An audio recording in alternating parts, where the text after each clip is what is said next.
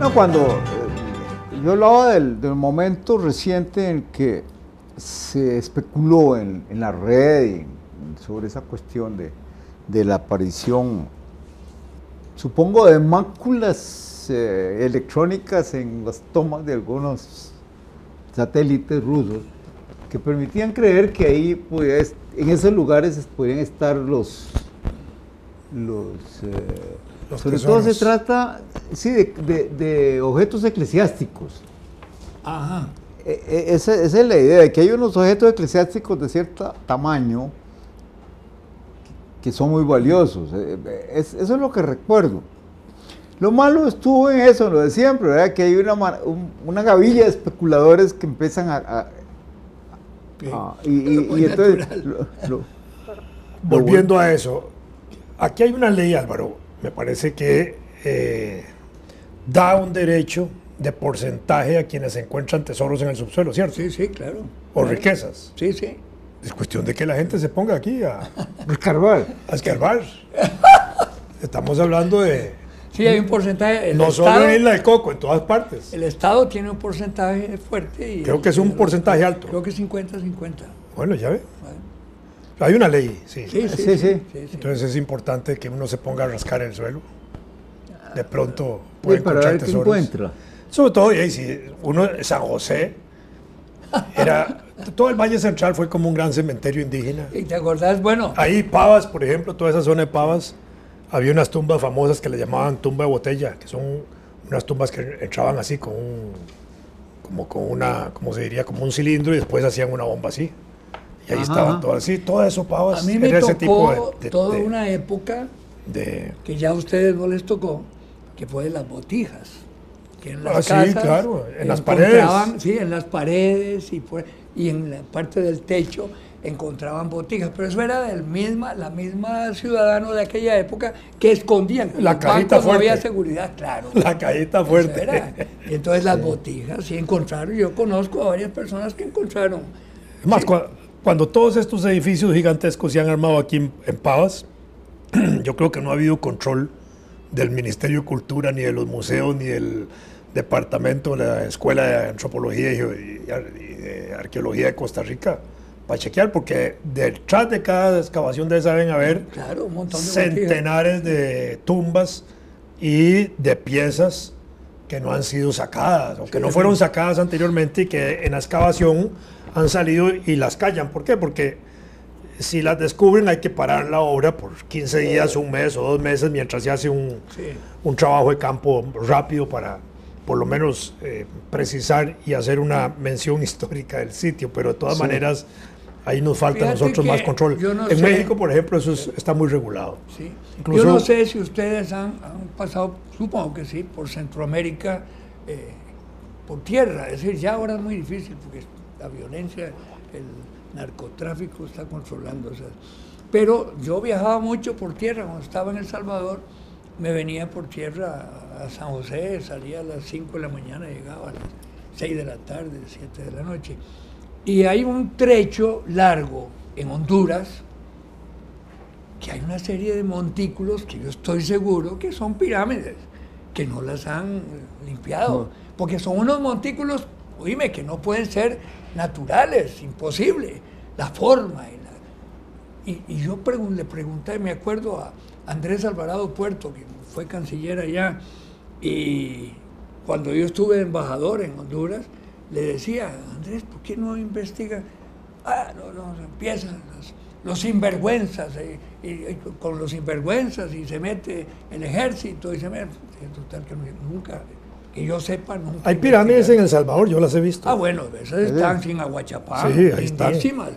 Son pequeñitas, pero ahí están. Sí, sí, ahí están. Ahí, en Honduras, en una parte de Honduras hay. Ah, bueno, la parte. Sí, y sí. hace algunos años se dijo. Saculeo y todo eso son Hace algunos años se dijo que habían encontrado algunas pirámides también en Nicaragua. ah, cierto. Sí. sí.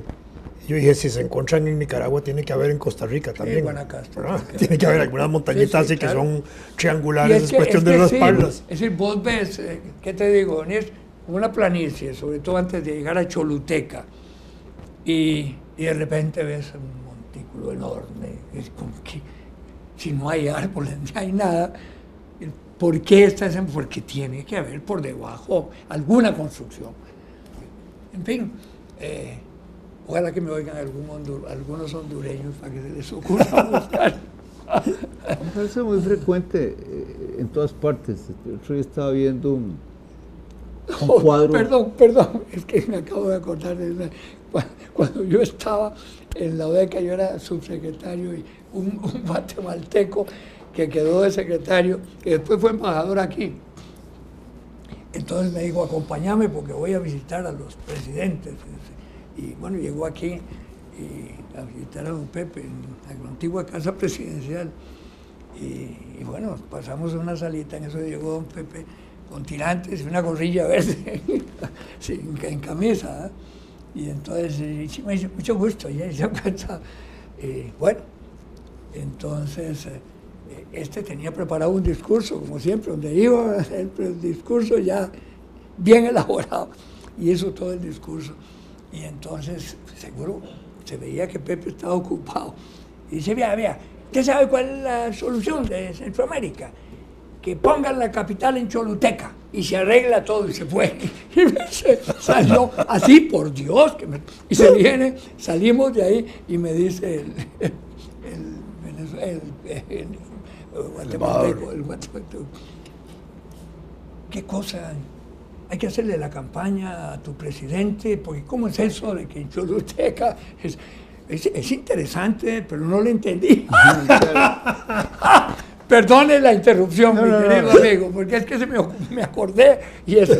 Don Pepe tenía unas vainas, ¿no? Sí, eh, es una buena idea como cualquier otra. ¿ah?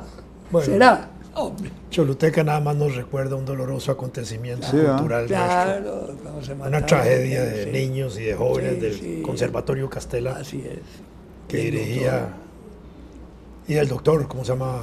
Sí, no, Y sobre todo el- del, co- del conservatorio que dirigía Arnoldo Herrera. Arnoldo Herrera, sí. Yo, yo Premio pasé, yo pasé por el lugar poquitos días después de la... Ahí Ahí murió hay una cruz, amiga ¿no? mía, murió una muchachilla amiga. Nos detuvimos ahí a- y bajamos al Rondonada donde estaba el bus y fue muy triste. Claro, eh, claro, ¿no? Porque ahí no, uno nada más se, uno se da cuenta del El doctor Romero. que ha sido Doctor el doctor Romero. Romero.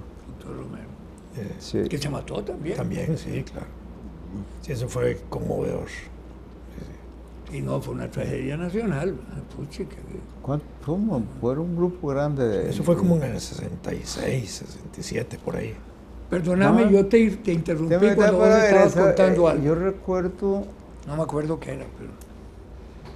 Sí, por ahí. Es que yo, yo estaba, Sí, sí, yo, era, yo era, era presidente de la Asociación de Estudiantes de Química y como tal viajé con, con, los- con los colegas farmacéuticos a, una, a un congreso de estudiantes de Química y Farmacia de Centroamérica que se realizó en El Salvador. Y, y al pasar de vuelta nos encontramos con... Pasamos de día por ahí, porque a la ida pasamos, íbamos, eh, pasamos de noche. Era en el altiplano. Cosa terrible cuando uno viajaba por Centroamérica, en esa época, las alcabalas. Las... Alcabalas, que eran los sitios militares que habían en las calles que paraban siempre. Sí, Ah, sí, sí. Y era un registro total. Cuando querían, registraban maletas y registraban Ah, todo. Era sí, como, sí. una, como una aduana más. Ah, Eh, eh, Era rarísimo. pues, a mí me- yo, yo, yo pasé por ahí viniendo de Estados Unidos mm, eh, con una un baúl metálico lleno de libros, eh, entre otras cosas. Y total, no sé cuántas veces desarmaron aquel, aquella biblioteca para ver. Y entonces recuerdo que el, gringo que venía conmigo, que era un, había vivido en Costa Rica, por eso había venido a, pasar unos días en Costa Rica, eh, se paraba al lado mío mientras los, soldados repasaban hojas. Y una vez me dijo una cosa terrible. Fernando, ¿vos crees, crees que esos simios eh, saben lo que están leyendo? y era, parecían monos. Pero tú sabes que, bueno, eh, voy a, a contar, pues yo te interrumpí cuando estabas contando algo y quisiera tratar de revivirlo. Porque te interrumpí para contar lo de, lo de la visita a don Pepe. Debe ser, una debe ser una tontera, porque... No, se no me- sé. se me- Pero es que fue una grosería, pero es No, que no, no, me, pero- me surgió la vaina y me acordé. No, las, alfo- las famosas alcábalas, uno estaba liberado de eso, porque yo venía con placa de la UDECA, así, Ah, bueno. placa centroamericana, y uno pasaba y hacía así nada más. Ah, bueno. Sí, sí, sí. No, hombre. Una ventaja. Era un martirio estar parando cada... Sí, sí, sí, es más, claro. creo que estaban establecidas donde estaba la división, como decir, provincial. Sí, Donde sí, sí. cambiaba una provincia o un No, había estado. como 10. pues, pues, había que parar. sí, sí, sí. Igual pasaba en Venezuela. Pero el que era, el que era terrible, terrible, eh, era la, eh, la de México. Me tocó atravesar México, esa vez, conduciendo, eh, y alternando la conducción con el gringo, y resulta que el primer error que cometimos fue, bueno, aparte de que hubo que pagar coimas A diestra que, que ya estaban calculadas, ¿verdad? Bueno, después le cuento otro cuento. Entonces, en un tiro, fuimos testigos, ya lo he contado otra vez, de un incendio forestal y fuimos tan idiotas que creímos que lo cívico era avisarle a la policía que se estaba consumiendo en el norte de México en un incendio forestal. Iban los correcaminos por, por centenares, ¿verdad? corriendo detrás, delante de las llamas y, y claro, apareció el, el, el, el- digno militar mexicano, ¿verdad? Y le explicamos. Entonces lo que hizo fue pedirnos los pasaportes y empezar a hacer así con aquellas manos Sí, sí, arrapastrosas. claro, claro. Qué raro, esto se ve muy raro, decía. Todo estaba en orden, ¿verdad? Se ve muy raro y sus manos asquerosas recorrieron las hojas de los pasaportes hasta que al fin sacamos los billetes, ¿verdad? Claro, así era. Entonces de ahí en adelante, cada vez que un honorable militar mexicano se acercaba a nosotros, metíamos un billete dentro de cada Sí, pasaporte. eso Así era. 50 infalible, dólares. infalible. Entonces, lo- por eso yo sigo creyendo que, que, que, bueno, me va a permitir perdonar. Yo creo que los militares mexicanos son sinvergüenzas por naturaleza. Oíme. Pero entonces, Ah, bueno. llegamos, atravesamos, soltando todo lo que llevábamos cuando cruzamos la frontera con Guatemala. Y íbamos preparados, ¿eh? Y allá como a los 15 kilómetros después de cruzar la frontera aparece un motar eh, guatemalteco, caqui, bien aplanchado, muy elegante, nos para y ahí desde luego el tiro. Y entonces este guatemalteco, plantado al lado de su moto, coge los pasaportes, saca los billetes. Se les olvidó esto, caballeros. Y ahora sí estamos en un país más o menos civilizado otra vez. ¿no? En Guatemala. Entonces, tengo que pensar que los militares guatemaltecos en aquel momento, por lo menos uno, no calificaba para ser militar mexicano. Bueno, Hablando de vean, militares mexicanos, 1978, 82 por ahí, eh, asistí a un congreso en Jalapa con otro colega de la universidad, Fran Ulloa Arroyo, abogado, y presentábamos allá una ponencia sobre el Estado de Costa Rica. Llegamos a México y nos trasladamos a, la ciudad de noche. A- Llegamos ahí como a las 12 de la noche, en un aguacero espantoso. Y estábamos ahí viendo a ver en qué momento aparecía un, taxi para dirigirnos al hotel de la parada del bus donde nos habían dejado. Y en eso aparece una radiopatrulla mexicana. ¿verdad? Y nos ven ahí a nosotros con maletas y ahí paran los policías. Y ustedes, ah, somos costarricenses, venimos a tal cosa y andamos, pues, estamos esperando que venga un taxi para ver si vamos al hotel tal. Ah, no, no, venga, nosotros los llevamos con mucho gusto. Y, y de veras, bueno, nosotros vimos aquello normal, nos Claro. montamos en la radio patrulla, maletas y todo. El hotel, de paso, quedaba como a los 400 metros, ¿verdad? Eso fue lo que nos caminaron. Ah. Llegamos al hotel, nos bajaron las maletas y nos cobraron. Sí, sí, claro. Pero, oíme, no, no, pero para que vean. Yo después pensé, nos fue la- bien porque nos pudieron haber matado, asaltado y todo. El, el- el ingenio pícaro. Bueno, hay un libro que las picardías mexicanas. Pero veníamos de, de- de Nueva York. Mi, mi señora, eh, mi suegro, un hijo y yo veníamos. Entramos a, a México y a la entrada nomás, eh, había un- una gasolinera que decía última oportunidad de llenar su tanque a tanto, a tal precio, me acuerdo. Y le dije yo a mi mujer que, que aquí llenar el tanque. Brum, Y lo llené. Y la próxima era mucho más barata, era la última oportunidad. No, no, son Ay, bandidos, claro. Le dije a mi mujer que desgraciado. Bueno, y Había ahí- una, una, una- una línea de autobuses en México que se llamaba Flecha Roja o algo así, ya no me acuerdo. El lema de la, de la compañía era primero muertos que tarde, porque tenía tal nivel de accidentes. No, hombre. ¡Qué bárbaro! Ah, O sea, oíme, a propósito de eso, ves si hiciera. La gente decía que el lema de la compañía era primero muertos que tarde. De, de, de- de Totalmente se accidentaban a cada rato los buses. Saltillo a San Luis Potosí, ya habíamos entrado plano, plano, esa vaina. Qué Y venía una carcacha adelante, ¿verdad? Eh, que tenía, pasame si puedes, decía. Y yo decía, puchica, le decía yo a mi mujer, que se me corría, se me corría. Y en un tanto, ¡rum! me le meto así, salgo y adelante decía, a tu hermana. Pasame si puedes a tu hermana. Ay, qué Ah. No, no, no, no, si todo el tiempo están en esas vainas. A ver, ese tipo de cosas, lo contrario, hey, uno encuentra lugares donde las cosas ocurren al revés. Yo eh, estaba viviendo en Leiden y en un lugar que en realidad es un municipio paralelo que se llama Utrecht. Y bueno, yo, todo en, regla, yo estaba inscrito en... de pronto, una madrugu- un día hubo una fiesta o comida, lo que fuera, en un lugar muy cercano donde yo estaba viviendo. Y le hice el trayecto a pie y, y volvía de madrugada ya a pie. Tranquilo, ahí yo consideraba que, bueno, venía caminando, cuando de pronto para una patrulla, así lo mismo, Menir Durán.